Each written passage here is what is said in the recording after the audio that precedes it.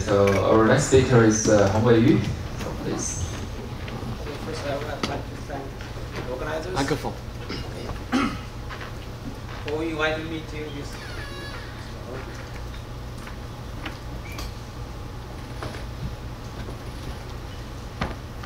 Wait.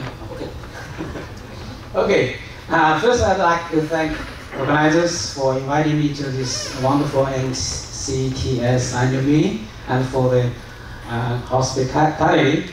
Uh, my talk today is based upon two of my recent works. Uh, one is published, the other just came out yesterday morning uh, with my collaborators Chen Jie and Pu Xun who are sitting in the audience and who have done most of the calculations. So my job is to present my, our work to you, and it is their responsibility to, to answer any questions you may have. Okay? So this is the outline of my talk. I will start by telling you my motivation, and then I will move on to amplified curvature perturbations in inflation with gravitationally enhanced friction followed by abundance of primordial black hole, dark matter, and scalar induced gravitational waves. Then I will end my talk by giving you a summary of, of our results. So, the motivation. So, uh, detection of gravitational waves by LIGO and Virgo in a combination of uh, decades long quest confirms directly a prediction of Einstein based upon his uh, classical theory of relativity. And so far, uh, 10 uh, gravitational waves from 10 binary black hole merger and one neutron star merger have been detected. And uh, the masses are, are around 30 solar masses. Okay? So, the question is, what is the origin of this black hole detected by uh, LIGO and Virgo. And uh, the black holes can be formed from the death of uh, massive stars, and they can also be formed in the very universe, as suggested by Hawking first, which are so-called primordial black holes. The, the black hole from uh, stellar evolution uh, may not be as heavy as uh, 30 solar masses, according to the usual uh, theory of uh, stellar evolution. So it is very possible that black holes detected by LIGO may originated from primordial black holes. And there are some limits on the primordial black hole abundance for LIGO. Uh, sorry. It was shown by Sasaki et al. that the event rate falls in the LIGO range if the abundance of, of the primordial black hole is uh, 10 to minus 3. The, black hole, the primordial black hole can not only can explain the LIGO uh, detection, but can also be used to explain other astronomical and cosmological uh, phenomena. For example, uh, the the Earth mass uh, primordial black holes comprising 1% of the total dark matter can explain six ultra short timescale microlensing effects, uh, events in the optical uh, gravitational lens experiment. Here the, the, shaded region is the 95 uh, confidence level allowed region of PBH abundance obtained by assuming that six ultra short timescale microlensing effects in the OG LE data are due to black holes. And the black hole can also be a candidate of dark matter. So this is a, a map of the components of, uh, of our universe. The black hole com comprises 20% of the uh, dark matter. So, uh, sorry, uh, of, yes, uh, dark matter com uh, comprises 20% of the, of the matter content of the universe. And uh, so far, no signal has been detected in all dark matter experiments. So uh, primordial black holes remain, still remain a candidate of dark matter. So there are also uh, constraints on the boundaries of black hole, uh, primordial black hole dark matter. Uh, previously, it was thought that uh, the black holes, uh, primordial black holes in this range are constrained by gravitational femtolensing gamma ray and this range constrained by micro lengthy observation with several H, HC. But, but uh, it was point, recently pointed out that uh, the finiteness of luminosity source size and the wave property of photons significantly reduce the lensing efficiency. So these two windows allow thought to be open. And uh, so in this range, the black hole, the primordial black holes can comprise all the dark matter. So far, so we, we, we have seen that primordial black, black holes remain a practical, uh, attractive way to solve astronomical and cosmological puzzles. So the, the other problem is what uh, the primordial black hole come from in the first place, and what, in another word, what uh, seeds the primordial black hole. And in this regard, the primordial curvature perturbation in inflation can be the seeds. So, uh, so during, during the radiation area, if small scales uh, perturbations are large enough, so the gravity of over-condensed regions of can overcome the, the pressure, uh, sorry, the radiation force to, uh, to, to collapse to form primordial black holes of the horizon entry. And this figure shows constants uh, on the primordial uh, curvature uh, perturbations. On large scales, the curvature perturbations are constrained to be uh, the power spectrum to be 10 to minus 9. But on the small scales, the constraints are significantly weaker, uh, can be considered as non-existent. So uh, the question is how to uh, amplify the the uh, perturbations on small scales. So if you want to generate a sizable amount of primordial black holes, then the power spectrum should be amplified to 10 to minus 2.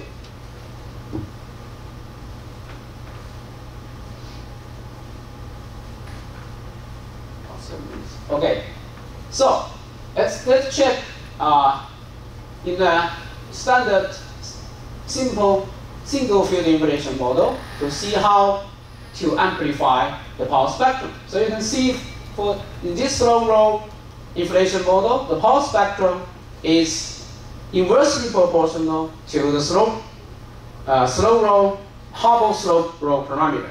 Okay, and the sample in this case we can also define we can also define a so-called potential slow roll parameter. In this case, these two parameters are equal. So in order to amplify, you want to make a very small epsilon. The one way to uh, to to, uh, to to make smaller, similar as epsilon, is to have uh, a period of ultra slow inflation. So the natural way, or the simplest, simplest way, is to have an inflection point where you have the derivative of uh, potential with respect to phi and the double derivative approximately equal to zero. So once uh, the inflaton, in, in terms of dynamics, crosses the point, experience uh, ultra slow inflation, uh, ultra slow region will correspond into ultra slow in inflation. So if you look at the dynamics governing the inflaton, then you can see besides uh, flattening the potential, there is another way that is still increase friction. So in this work we propose a mechanism of gravitationally in uh, enhanced friction implemented in a non-minimal derivative coupling inflation model. So, this is the basic equation. So you have a non-minimal coupling between gravity and uh, inflaton field. And that uh, psi is a function of inflaton field. So if uh, with this action you can derive uh, Friedmann equation and equation of motion from the inflaton. For the slow roll inflation, you have these slow roll parameters, and uh, for simplicity of calculation, we'll also impose this condition. So now, with slow roll inflation uh, conditions, then you can approximate the Friedmann equation and the equation of motion for inflaton by these two equations. And then you see the Hubble, Hubble uh, slow roll parameter is related, related to the uh, potential slow roll parameter by this equation. so if if you can uh, increase A with a, uh, if you have a big A, then epsilon will be become smaller, and then you get an amplified uh, uh, curvature perturbation. So if we if you assume that if you stop, so if, if A is equal approximately to 1, then you, you, you have standard inflation. So if you have A, if you have uh, A much greater than 1, then you get a much smaller and uh, amplified um, uh, amplitude. Okay? So if you assume that we start with uh, A approximately equal to 1, then it evolves to a region where A is uh, very large, much larger than, than 1, then you will decelerate the inflaton. And then in turn, uh, you will have, uh, you will expect amplified primordial curvature perturbation. So to test this idea, so we are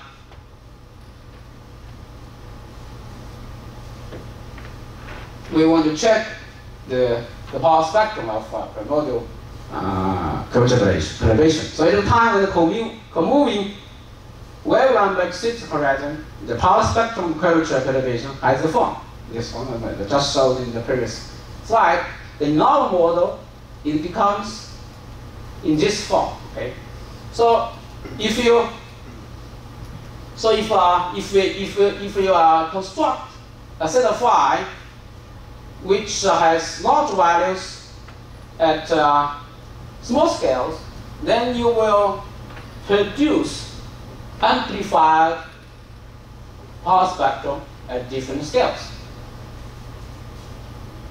So here we propose we propose uh, the following special form of theta phi to accomplish the goal of amplifying the primordial, primordial curvature perturbation with a simple monomial potential which satisfies CMB constant. So the amplified, okay, amplified. So we can test this by carrying out uh, a, de a, detailed calculation for a concrete example where we choose these model parameters.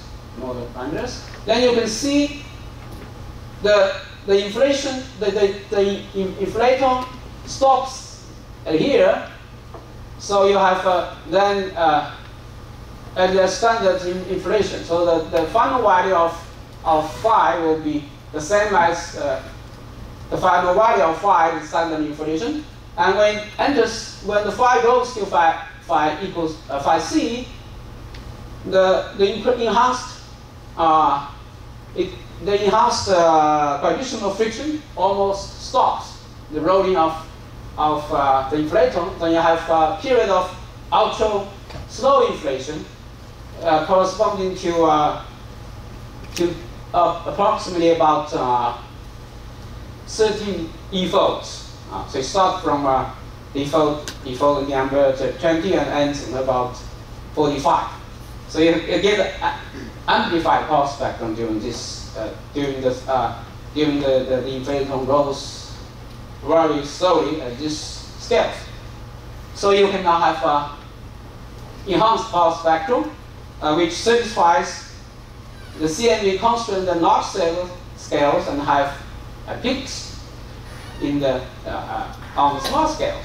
And this is three uh, different parameters producing three different peaks. We will see this figure later also. Okay, now in order to to use uh, primordial holes uh, for our purposes. That is to, to, to explain uh, the LIGO event, to explain the six ultra short time uh, parenthesis uh, events, and also uh, the, uh, as a, a kind of dark matter. We need to calculate the abundance of primordial black hole dark matter, which is constrained by observations. So, the, the abundance of uh, primordial black holes with mass and per logarithmic mass can be estimated using this formula. And here, m is the mass of performed primordial black holes, which is related to the horizon mass at the, at the horizon entry of perturbations with moving number k, and the gamma is ratio of primordial black hole mass to the horizon mass, uh, which indicates the, effic the efficiency of the collapse. And the beta is the reduction rate of primordial black holes with mass m, which under assumption that the probability distribution of perturbations is Gaussian is given by, based on this theory, this formula. And uh, so where sigma squared is related to the power spectrum through the following equation. So we have the, the power spectrum already calculated. So we just plug this in and do the calculation and we see what uh, comes up. So we have two, uh, three different parameter sets which produces black holes with, uh, with uh, stellar mass and this uh, uh, yes this is uh, stellar mass and then this uh, the mass for micro lensing in fact, and then the mass which can uh, which can comprise most of dark energy I'm sorry dark matter okay?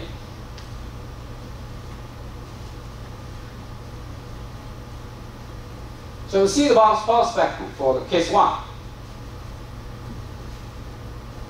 So you have uh, a peak uh,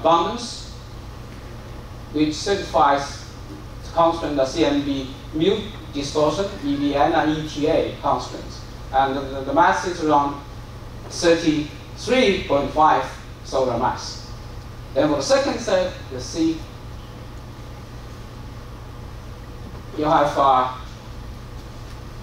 abundance of uh, this value, then you have the, uh, the peak uh, the peak mass, which can explain ultra uh, uh, six ultra short time scale micro lensing effect events. Third one, this can be used.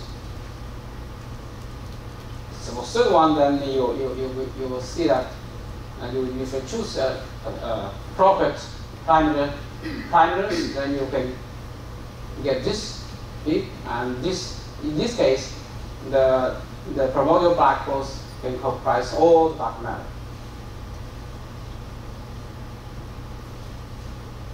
Okay, so uh,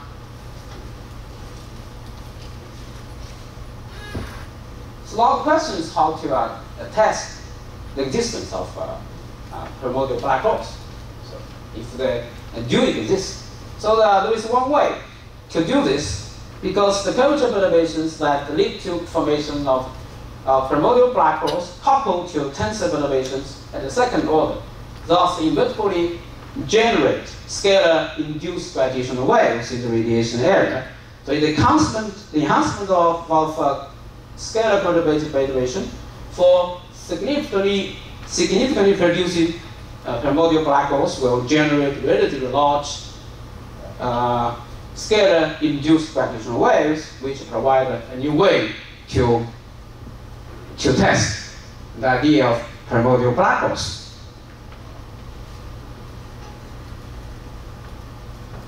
Uh, so during the inflation, the curvature perturbation, the curvature perturbation can be stretched out of the horizon, and when and become possible. And after the inflation, this super horizon curvature perturbation will re-enter the horizon. And enhanced curvature perturbation on small scales, which enter the horizon early, result in large scale curvature perturbation, which are uh, uh, which reduce uh, scalar metric perturbations. And these metric perturbations coupled in the second order to tensor perturbation, uh, thus induce significant gravitational waves. So now the, the, the problem is still is to calculate this scalar-induced gravitational waves. But in the conformal Newtonian gauge, the return, the metric can be written as this. And here, phi is first order scalar perturbation. Hij is the second order transverse trace tensor perturbation. And so in the second order, the scalar perturbation couples to the tensor perturbation.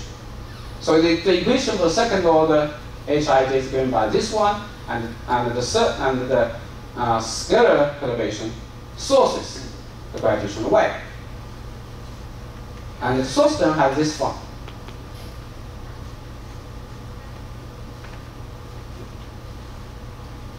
So now we are in a position to calculate the spot density spectrum of uh, gravitational waves. So this is the formula. And if you, we have this power spectrum already calculated, so we can just do a calculation to see, uh, to check power spectrum of uh, scalar-induced gravitational waves. So these are the, the numbers you need in this uh, calculation. So we plot our, our results in this formula uh, through our manual calculations. We also we have also done numerical uh, calculations. We found the power spectrum can be expressed approximately in the uh, infrared and ultraviolet region in this power form, where the, uh, the power is given by these two formulas, okay, these two powers. So if we uh, compare, for, take the Earth mass primordial black holes as an example, and we compare the analytical results with numerical results, you, you see they are largely consistent. Here, and check, they are, here the, the blue line is numerical result, and red dashed lines represent analytical, analytical results. So see they are nicely fit.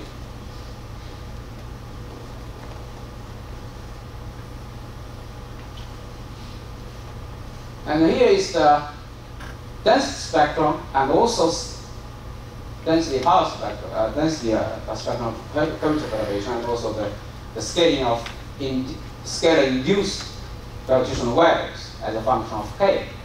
So you can, from this figure, you can see there is a evolution between the, the slope of the power spectrum of density uh, of uh, curvature perturbation and also the power spectrum uh, the scaling of induced gravitational waves. So I will show on the next slide. So in the ultraviolet region, you have NTW approximately equal to NS. And then in the infrared region, the density spectrum of, of gravitational waves has log-dependent slope.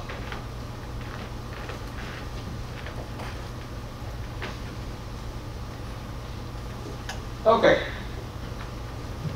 So this is just a, uh, an example. You can see the produced, the scalar-induced, scalar-induced uh, gravitational waves in, the in the infrared region can be detected by SKA, and in the ultraviolet region is in the detection range of LISA. This, uh, this result uh, is just reported in the, in the, in the manuscript, uh, came, came out uh, yesterday, and there are several other calculations which uh, I'm not going to show here. So I guess uh, it's time to, to summarize.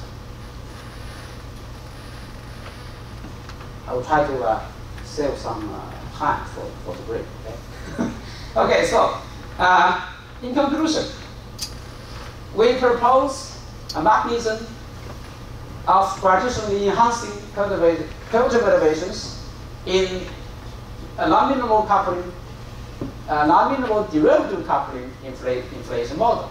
So the obtained power spectrum of curvature perturbation has a large enough peak on small scales and satisfies the current observational constants on the large scales. And the power spectrum luminosity of the peak can be well approximated by power law of the co-moving number. By choosing different parameter sets, we can easily obtain soft mass spectrum of primordial black holes on around specific mass, such as this three, which can explain LIGO events the ultra short time scale microlensing events in OGLE data and the most of dark matter respectively. And the, the, the GW singular produced by scalar perturbation can be detected by SKA and LISA, and the, the law dependent of of the, of the uh, scaling used by the waves in the infrared region is confirmed, while in the ultraviolet region, the power law scaling is observed. Okay, thank you.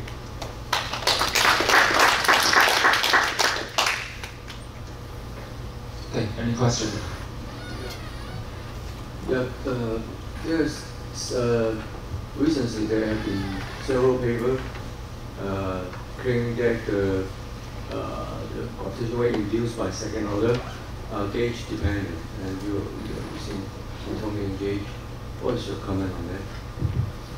Yeah, this is just came, came, came yesterday or something.